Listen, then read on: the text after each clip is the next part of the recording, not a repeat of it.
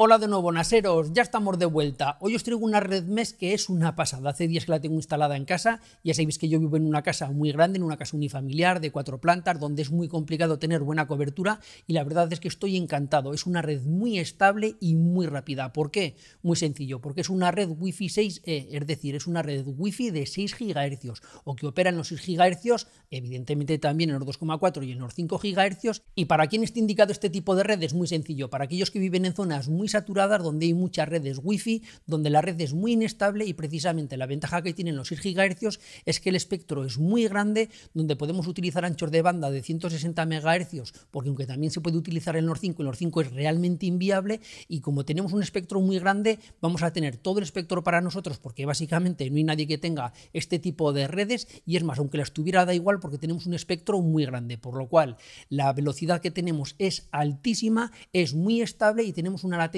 muy baja. Los que vivéis en zonas donde solo os podéis conectar inalámbricamente, necesitáis transferir archivos de gran tamaño, de, gran capacidad, necesitáis transferencias muy altas, necesitáis tener una latencia muy baja, bien sea por videojuegos o por el tema que sea. En este caso, básicamente, la única solución es recurrir a las redes de 6 GHz. Esta es de 6 GHz, es una Wi-Fi 6E, es una red MES. Yo os traigo una, ahora la voy a enseñar, que tiene tres nodos, también la tenemos con dos nodos y como ya digo, la llevo probando hace días y es una auténtica pasada. Así que si estás interesado, quédate y empezamos.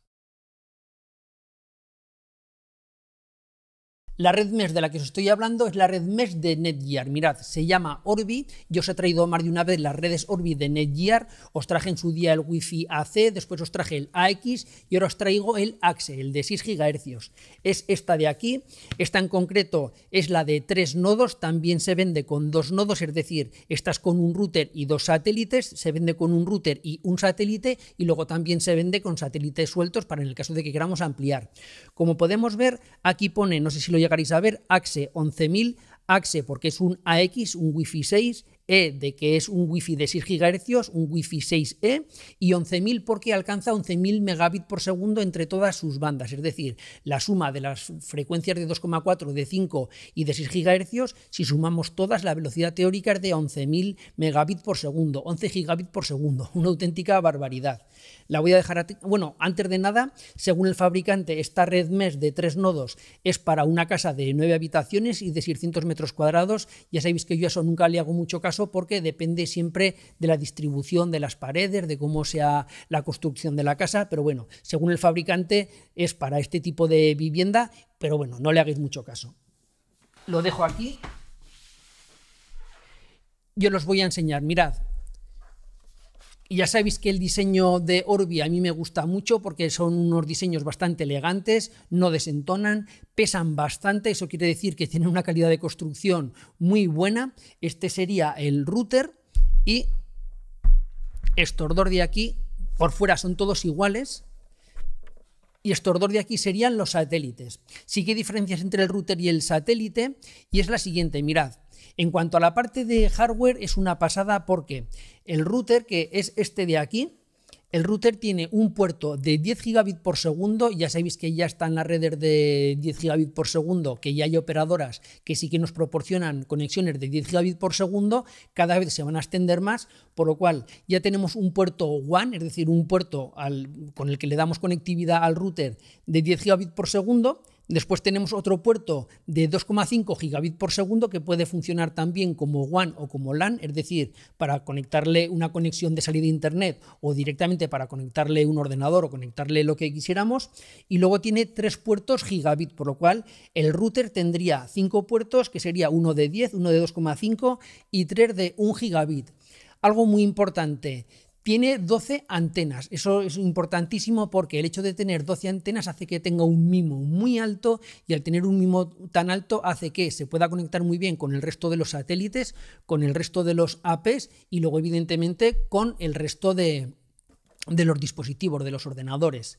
Importantísimo, tiene una frecuencia de 2,4 GHz, dos de 5 GHz y luego la de 6 GHz. ¿Por qué tiene dos de 5 GHz? Muy sencillo, porque una de 5 GHz es para el backhaul, es decir, es para la conexión entre los nodos, para la conexión interna, vamos a llamarlo así, entre el router y los dos satélites o entre los dos satélites entre sí y luego el router. El backhaul, es decir, la conexión entre ellos se hace en 5 GHz y no en 6 GHz.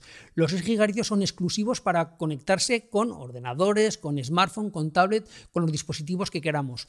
¿Por qué lo han hecho así? Muy sencillo, porque aunque es verdad que los 6 GHz son muchísimo más rápidos, el problema que tienen los 6 GHz es que el, el alcance es muy bajo. Ya sabéis que cuanto más alta es la frecuencia, mayor velocidad tiene, pero la penetración y el, alcance que tiene es más bajo, por lo cual no tiene mucho sentido colocar un router en una habitación y luego en una planta superior o dos habitaciones más allá un satélite, porque en 6 GHz no se va a poder conectar porque no va a ser capaz de atravesar las paredes y no tiene ningún sentido. Los satélites lo que tienen es un puerto de 2,5 y después tres puertos gigabit. Como vemos, el router tiene un puerto más, que es el puerto de 10G. Entre ellos se pueden configurar, lo hace de manera automática, o bien en estrella o en cadena. El propio sistema determina cuál es la conexión ideal, cuál es la mejor configuración, y él solo se configura. Y ahora vamos a poner a prueba esta red. Vamos a ver qué rendimiento nos da y a ver qué velocidad nos da, para lo cual vamos a hacer un test de HyperF. Ya he explicado más de una vez en qué consiste HyperF, aquí os lo dejo, y básicamente es poder medir de una manera imparcial, de una manera como realmente hay que medirla, la velocidad y el rendimiento de una red Wi-Fi. ¿Por qué? Muy sencillo, porque si hago el típico test de velocidad que hace todo el mundo, lo que voy a hacer es medir la velocidad de mi operadora. Ya sabéis que en función de a qué hora lo hagas, de la saturación que tenga la red o la operadora en ese momento, de una velocidad mayor o menor y luego como vamos a medirlo en los gigahercios que da más de la velocidad gigabit, no tiene ningún sentido hacer el típico TER de velocidad. Así que ya tengo montado el TER de hiper y vamos a ver qué velocidad nos da. Venga, vamos allá.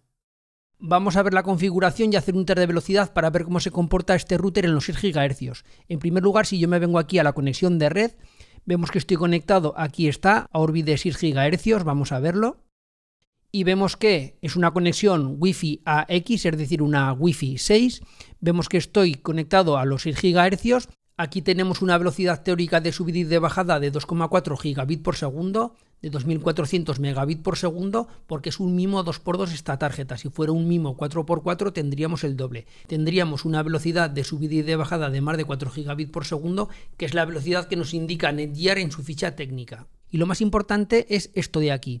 Vemos que yo estoy conectado a través de una tarjeta de red Wi-Fi que tiene el chip AX210, es decir, que es una tarjeta de red que soporta, como vemos aquí, una conexión de 6 GHz.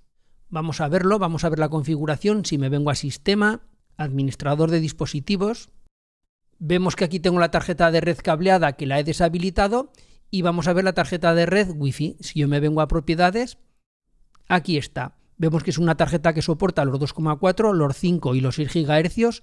Vemos que yo la banda preferida la he configurado como 6 GHz, realmente generalmente la tengo aquí en 5 más 6 GHz, lo que pasa que para hacer el test de velocidad lo he puesto aquí en 6 GHz y como también podemos ver soporta la banda ultra alta de 6 GHz. Así que ahora vamos a proceder al test de velocidad, para lo cual abro la terminal, lo voy a poner en grande esto lo voy a hacer de una manera muy rápida porque ya está explicado en otros vídeos. Accedemos a la carpeta donde está IPERF, ponemos la IP de donde tenemos el servidor de IPERF y ahora ya ejecutamos IPERF. Y aquí tenemos el resultado, 2 gigabit por segundo de subida y 1 gigabit por segundo de bajada. Una velocidad muy alta para ser una conexión Wi-Fi. Y ahora vamos a repetir este mismo test, pero en los 5 GHz. ¿Por qué? Muy sencillo, porque no todos los elementos de la red van a ser de 6 GHz, no todos ordenadores o todos smartphones van a ser de 6 GHz, por lo cual, como muchos van a ser también de 5, vamos a ver qué velocidad nos da. Venga, vamos allá. Ahora vamos a repetir el hiperf, pero en 5 GHz. Aquí está mi ordenador. Y si podemos ver, Estoy conectado a 5 GHz con un ancho de banda de 80 MHz y la velocidad teórica de 1200 megabits por segundo. Sigue siendo un Wi-Fi AX, pero ahora ya estoy en los 5 GHz y no en los 6 GHz. Vamos a hacer el test de velocidad y vamos a ver qué velocidad nos da. Abrimos HyperF y le damos a Start. Y aquí lo tenemos, vemos que es una velocidad muy estable que ronda los 600 megabits por segundo. En la velocidad pico se ha ido por encima de los 600, casi 700 megabits por segundo. Y bueno, lo más importante, que es una velocidad muy estable teniendo en cuenta que es una conexión de 5 GHz.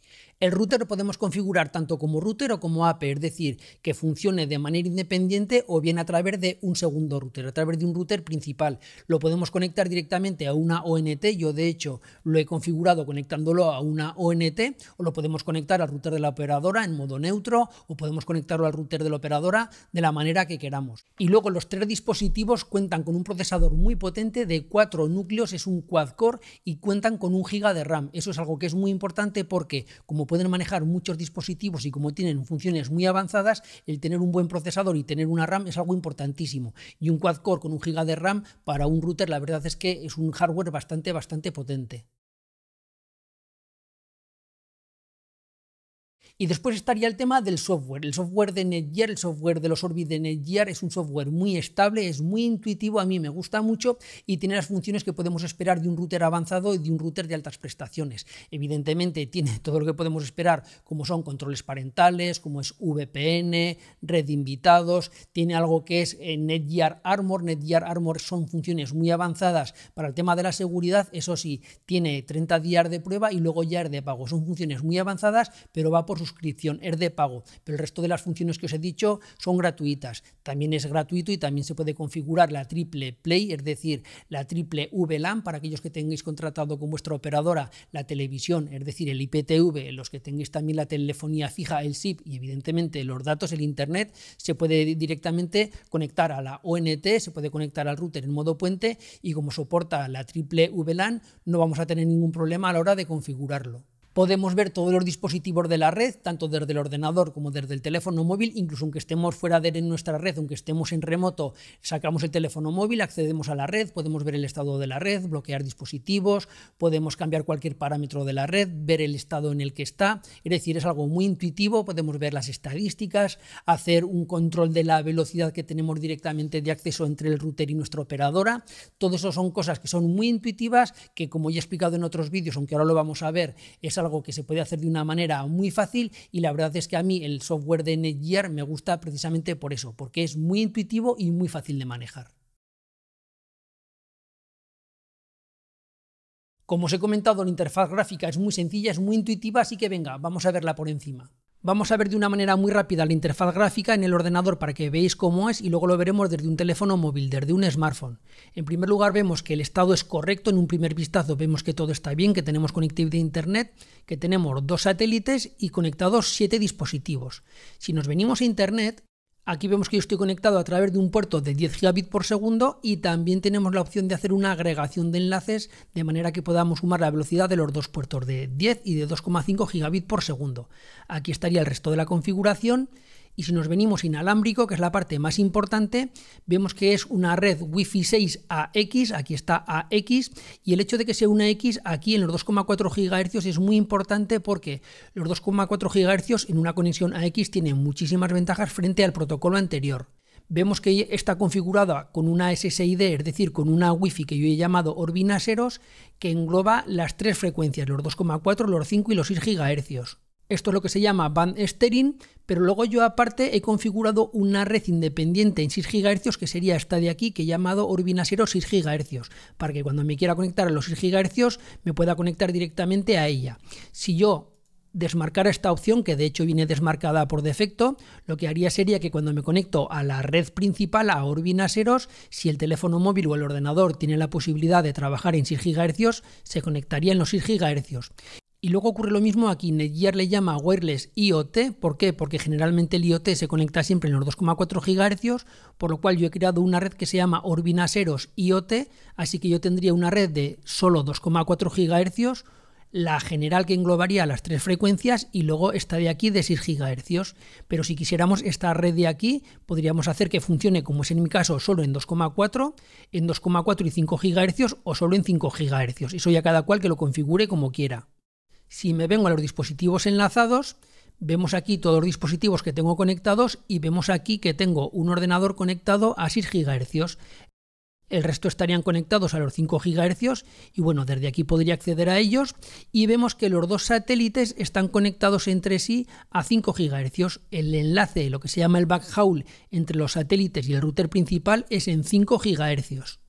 Aquí tendríamos la red de invitados, si quisiéramos añadir más satélites, y si venimos a avanzado, Aquí vemos las velocidades que nos da cada uno de los canales. Vemos que esto es muy importante, que en mi caso estamos en Europa, porque esto es importante a la hora de las frecuencias que puede manejar cada país, porque eso está delimitado por la legislación que tiene cada país o cada zona.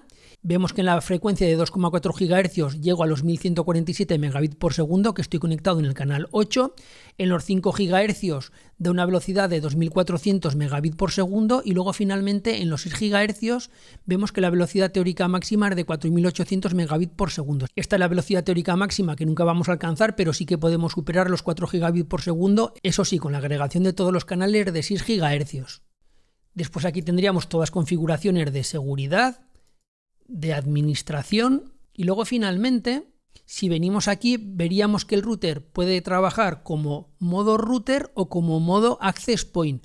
Como modo router trabajaría como es propiamente un router, es decir, tendría todo el peso de la red, dirigiría todo el tráfico, tendría el DHCP, haría el NAT, básicamente todas las funciones que son capaces de hacer los routers y en modo AP sería como una extensión del router principal, sería como una extensión Wi-Fi de tal manera que no tendría ni el control del DHCP, no tendría el control del NAT, todas las funciones avanzadas de seguridad tampoco las podría desempeñar porque para eso tendría que estar en modo router, pero bueno, en modo AP tendríamos como una extensión muy muy potente de la red Wi-Fi del router principal.